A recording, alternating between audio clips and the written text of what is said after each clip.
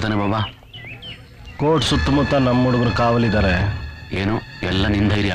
ಹೋಗ್ ಜಮಾಯಿಸ್. ಸರಿ. ಮಾರಪ್ಪ ಸಾಥ್ ಕೊಡು ಅಂದ್ರೆ ಲ್ಯಾಂಡ್ ಆರ್ಡರ್ ಪ್ರಾಬ್ಲಮ್ ಅಂದಿದ್ದಲ್ಲ? ಈಗ ನೋಡಿ ಈ ಬಾಬುರಾಜ್ ನಿನ್ಗೆ ಹೆಂಗ್ ಬತ್ತಿ ಇಡ್ತಾನೆ ಅಂತ.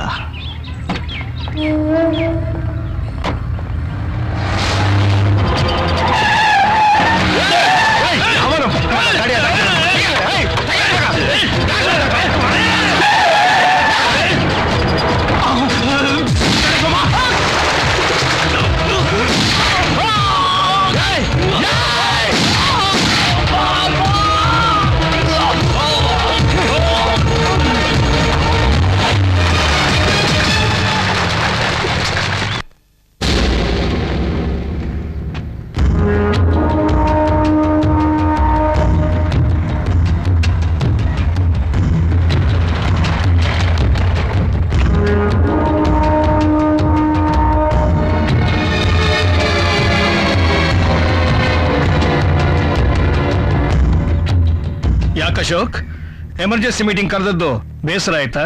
ಸರ್ ಅವ್ನ್ ಸಾಮಾನ್ಯದ ಮೃಗ ಅಲ್ಲ. ನರಕಾರ ಸೃಷ್ಟಿ ಮಾಡ್ತಾ ಇದ್ದಾನೆ.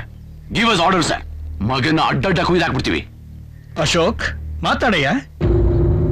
ಸರ್ ನಮ್ಮ ಡಿಪಾರ್ಟ್ಮೆಂಟ್ ಸೋಮವನ್ನ ಸಾವಿಗೆ ಹೆದರಿ ಜೀವನ ಹೆಬ್ಬಾಳ್ಗಳ ಕಾಲಿಡದ is right sir please pass order sir ಆರ್ಡರ್ಸ್ನ ತಗೊಂಡ್ರ ವ್ಯಕ್ತಿನೇ ಸುಮ್ಮನೆ ನಿಂತಿದ್ದಾನೆ.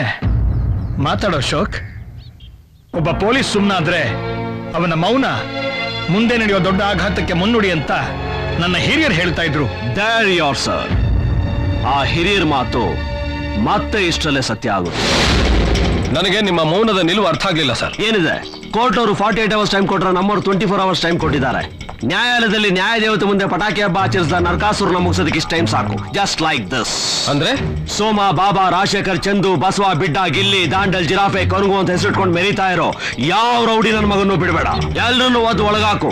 Is it clear yes sir ನಮ್ಮವ್ರನ್ನೆಲ್ಲ alert ಮಾಡು. Sir no compromise no sentiments no bail sir influence ಆ ಪದ ಬಳಸೋನ್ನ ಇನ್ಫ್ಲುಯೆನ್ಸ್ ಮಾಡೋಣ ಇಬ್ಬರನ್ನು ಬೂಟಲ್ ಹೊಡಿರಿ.